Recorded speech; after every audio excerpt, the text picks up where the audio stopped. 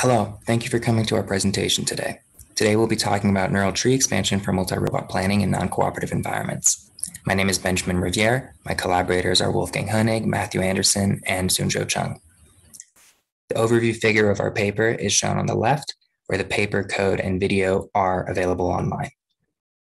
The goal of the research is to develop a high-performing real-time planner for complex robotic systems.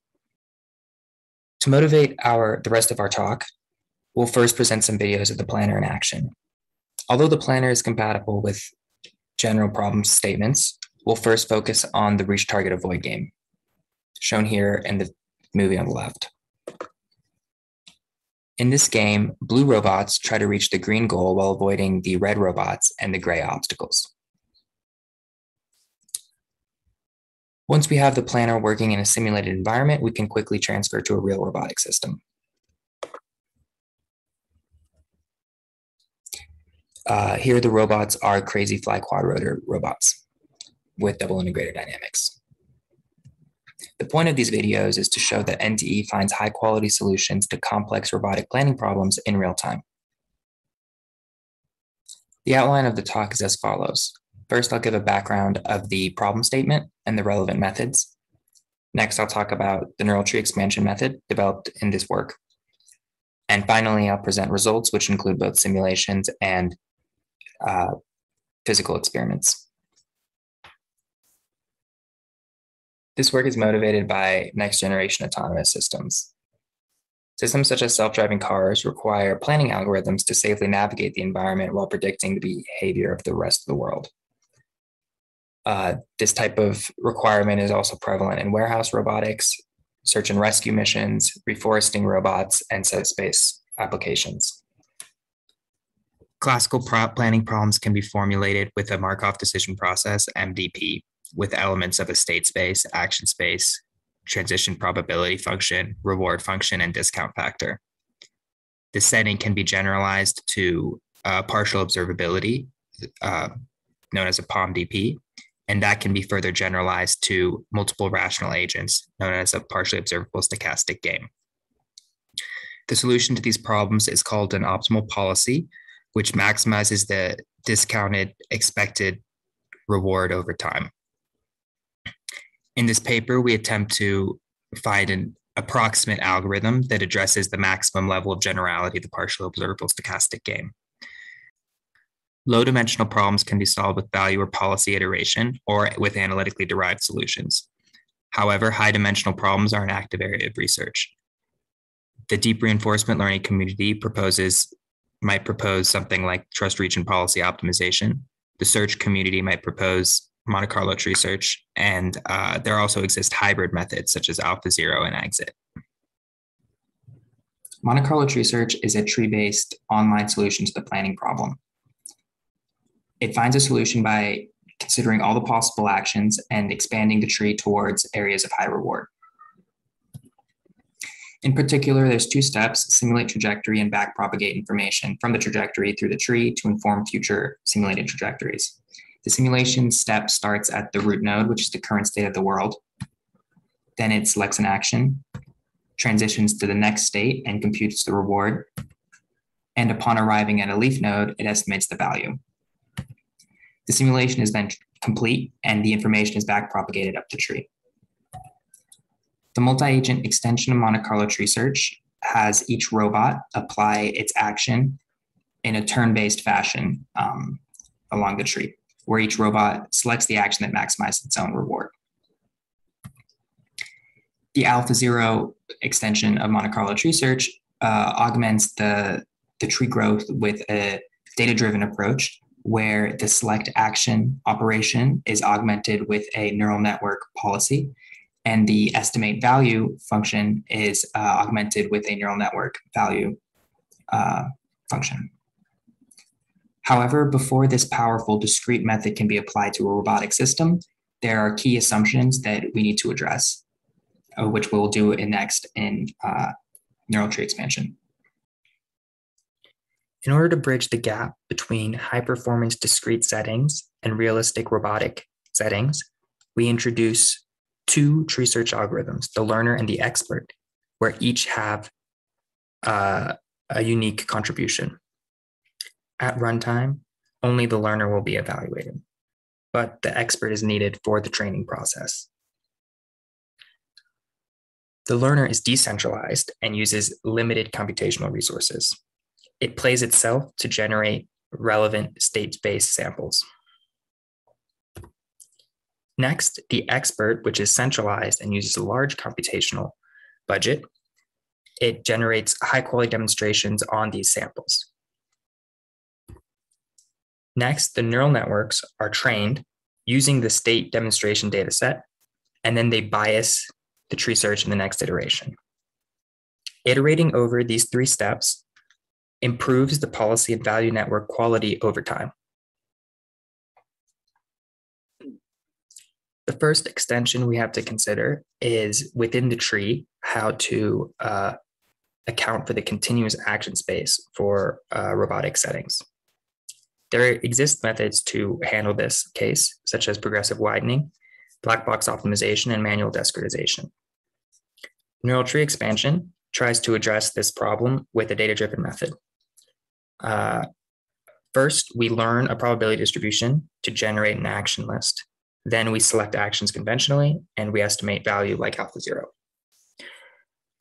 Uh, in the picture on the left, we can see that the, uh, the actions, the boxes, are uh, generated by sampling a normal distribution where the uh, mean and variance are parametrized by the weights of the neural network, and the input to the neural network is the state. Um, we also explored other variations, such as general probability distributions using conditional variational autoencoders, but we found that using a normal distribution had a good uh, computational complexity and performance trade-off. The next extension we have to consider is how to uh, decentralize the evaluation such that the tree search can be evaluated at each robot with only local information. As we mentioned earlier, the expert is a centralized computation. This means that it inputs the full state information and outputs the coordinated team action. So here we can, on the right, we can see that each blue robot has an associated uh, action. The learner is decentralized, which means that it inputs only a local information about the robot of interest, here shown as a local sensing radius around uh, the gray circle around the top left blue robot. Um, in addition, its output is a, a, local action, just the action for each robot. Uh, at this point, we have to figure out how to synthesize a decentralized uh, uh policy, whereas the optimality is well defined in the centralized case. In order to do this, we use a global to local learning strategy. This is a strategy that was introduced in our previous work. Um, and uh, the, the key idea is we ask the composition of learners to best imitate the centralized expert. The final extension we consider is synthesizing a planner with a limited computational resource. This extension will permit real-time evaluation of our planner on board real robots. We accomplish this in the same method as the previous decentralized evaluation by leveraging the existence of two trees, the learner and the expert. In this case, the learner is given very little computational resource, uh, measured through the number of simulated trajectories in the tree, whereas the expert is given a large computational budget. Visually, this corresponds to sparse versus dense trees.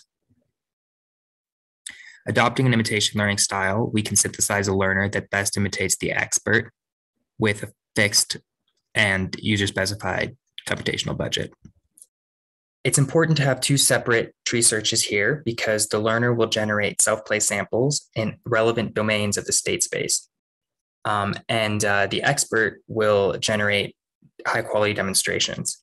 If we had only the learner, the demonstrations wouldn't be of high quality. And if we had only the expert, the uh, input domain would not be that that we would expect at runtime.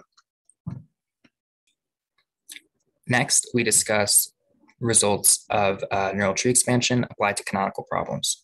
The first problem we consider is the bug trap motion planning problem, where a robot starts at the orange circle and has to go to the green square in the presence of the obstacles.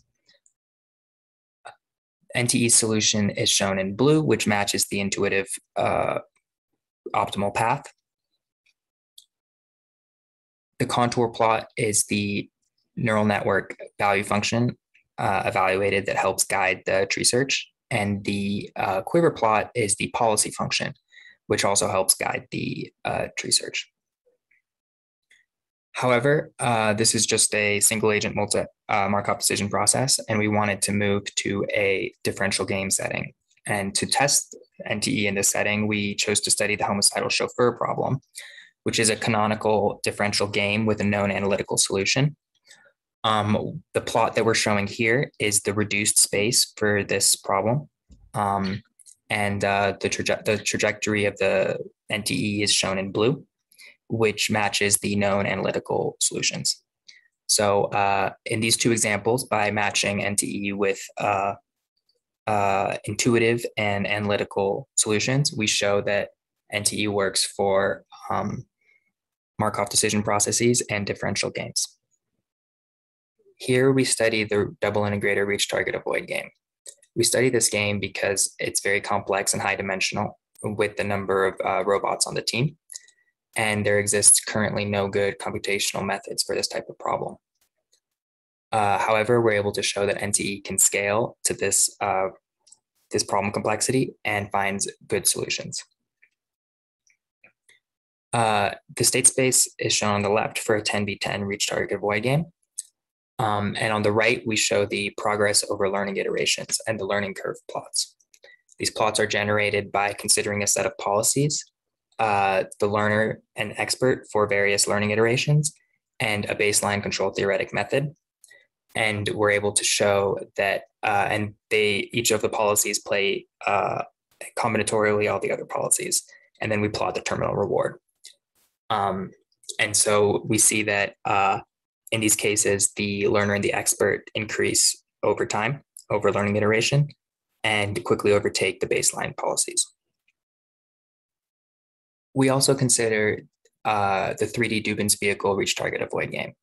So in this example, we changed the uh, state space and action space and transition function to reflect that of the 3D Dubins vehicle, um, which is an important model for modeling aircraft. Um, we have the state space shown on the left, and we can see the same uh, trends for um, the learning curves on the right. We have kind of a steady uh, improvement until converged behavior. Um, finally, we present results in the form of physical experiments. Here we're flying 3v2 reach target avoid game um, on Crazyflie quadrotors in a motion capture arena using the Crazyswarm software infrastructure. We're running the policies in parallel on an Intel i7 processor um, and we demonstrate that the learner with 500 nodes runs at 11 milliseconds. And uh, a baseline Monte Carlo tree search with 10,000 nodes runs at 277 milliseconds. We demonstrate uh, that the learner has better performance and 25 times less wall clock time, which demonstrates that the NTE algorithm can be used to uh, enable real-time planning in complex scenarios. In conclusion, Neural tree expansion is a robotic planning algorithm that combines deep learning and tree search. Through experimental and simulated uh, evaluation, we show that NTE scales to high dimensions while maintaining performance and real-time evaluation. We think NTE is a promising robotics planning framework because it provides a thinking fast and slow architecture. The deep neural network models give complexity but not adaptability. And uh, the tree simulations give adaptability, but not complexity. By combining these two, we arrive at a thinking fast and slow architecture. Thank you for listening to our talk. We look forward to answering questions at the live session.